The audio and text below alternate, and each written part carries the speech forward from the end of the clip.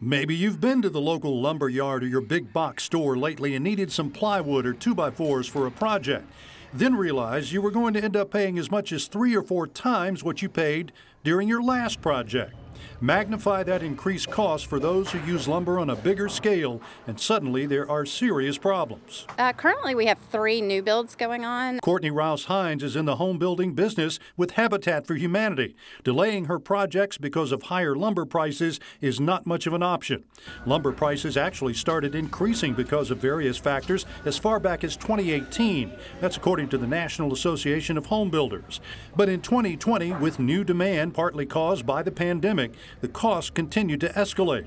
But it seems most began to take notice just this year. It's gotten worse, um, especially I think towards the spring when a lot of people start building, and um, but it's just and like I said, it keeps increasing. So we don't see any signs right now that it's even slowing down. So that's very concerning. This is a three-bedroom, two-bath house going up in the Hillsdale community. It's typical of what Habitat builds, but this one costs twice as much. I looked at the numbers before I came out here just to make sure, um, which was kind of uh, sad. But yes, it actually has doubled since the, the last house we put together last year.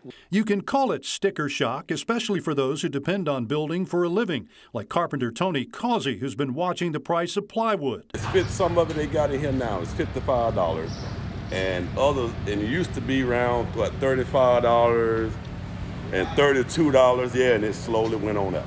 On average, the National Association of Home Builders says the soaring prices have added $36,000 to the cost of building a single family home. What's causing the surge in lumber prices is simple supply and demand. Even before the pandemic, lumber prices were rising.